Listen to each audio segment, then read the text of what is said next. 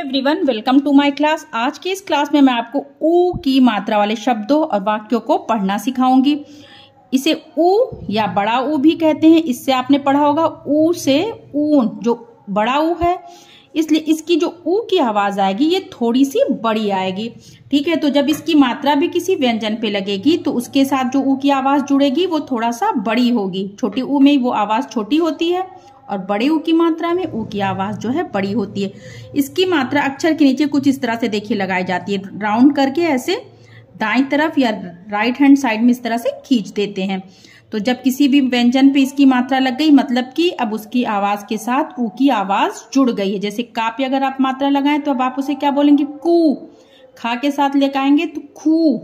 ऊ की आवाज़ थोड़ी सी देखिए लंबी आ रही कू, खू। छोटे ऊ की मात्रा जब लगाते हैं तो उसकी आवाज़, ऊ की आवाज़ छोटी सी आती, कु, खु, गु। बड़ी ऊ की मात्रा में ऊ की आवाज़ थोड़ी सी बड़ी आएगी। कु, खू, गु इस तरह से आएगी। तो यहाँ पे कुछ शब्द हैं, हम उनको आपको पढ़ना सिखाते हैं। उसके बाद हम आपको इनसे बनने वाले शब्दों और वाक्यों को लिखना भी सिखाएँगे। ठीक है, चलिए आगे बढ़ते हैं।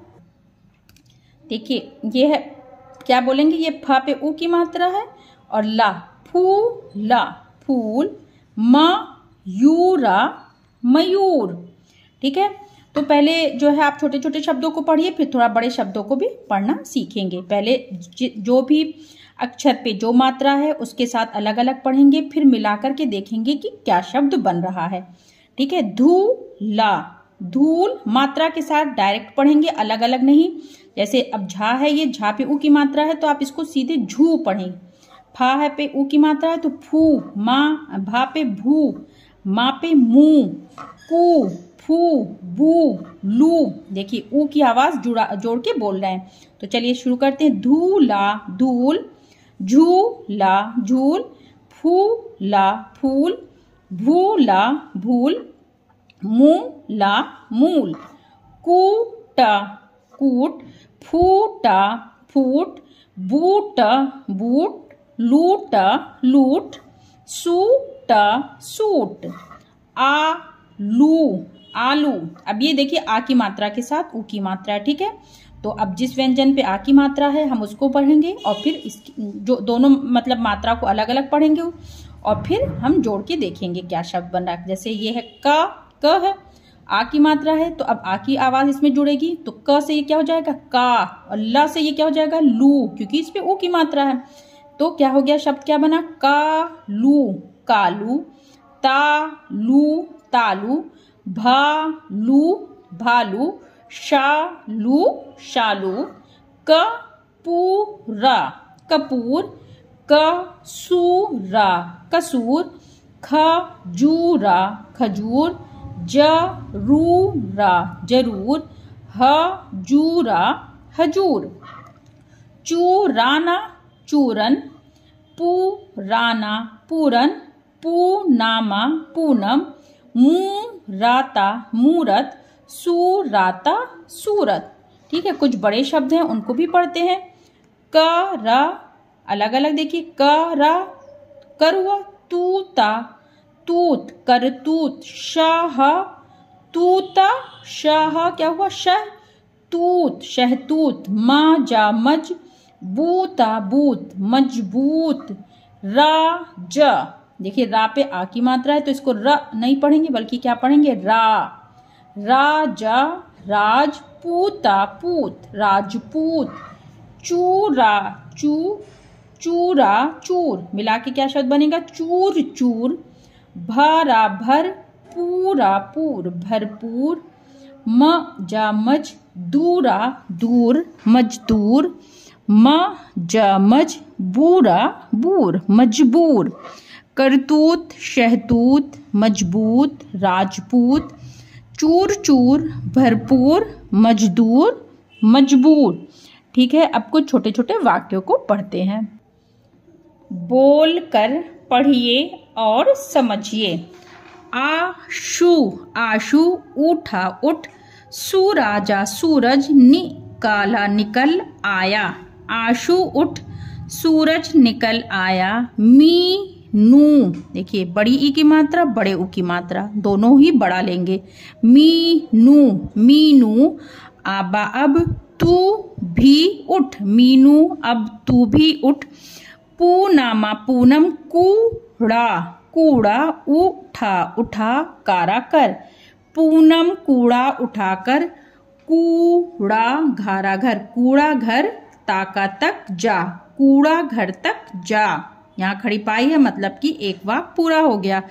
आशु दूरा दूर ताका तक घूम कर आ। आशु दूर तक घूम कर आ। मीनू फूला फूल ला मीनू फूल ला चीनू भगवान भागा वाना भगवान, चीनू भगवान की पूजा कर।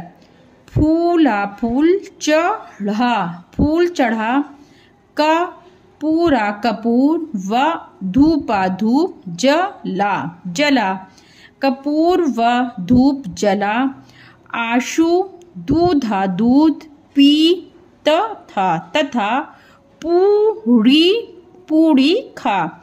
आशु दूध पी, तथा पूरी खा।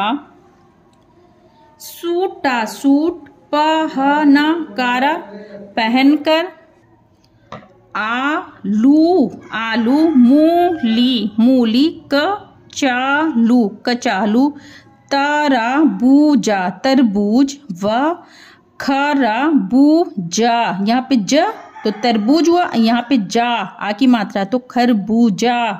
ला, आलू मूली, कचालू, तरबूज व खरबूजा। ला, पूनामा, पूनम, आलू व कचालू की चाट चाटा चाट बना बना। पूनम आलू व कचालू की चाट बना। तारा बूजा तरबूज व खरा बूजा खरबूजा। देखिए, तरबूज व खरबूजा भी मिला। भी, ई की मात्रा है बड़ी ई की मात्रा और ये छोटी की मात्रा है। मिला मिला, भी मिला। मूली मूली, की सलादा सलाद खूबा, खूब खा। मूली, की, सलाद, खूब खा। तो अलग अलग पढ़ करके हम पहले पहले समझेंगे और फिर मिला करके देखेंगे। चीनू चीनू, बाहरा, बाहर, सराजू, सरजू, मदारी, आया। चीनू बाहर सरजू मदारी आया। साथ साथ कालू, भालू भी लाया। साथ साथ कालू, भालू भी लाया। मदारी मदारी, डमरू डमरू बजा रहा था। मदारी, डमरू बजा रहा था।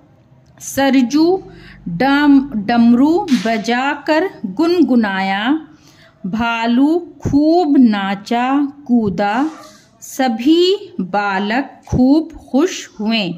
देखिए, भालू खूब नाचा कूदा, सभी बालक खूब खुश हुए। अब खुश हुए, देखिए यहाँ पे बड़ी की खा पे मात्रा है तो इसे खू बोले, और यहाँ पे छोटी की मात्रा है तो खू। अंतर समझ में आ रहा होगा? तो क्या हो गया? खूब, और ये खुश, खू, और यहाँ खू।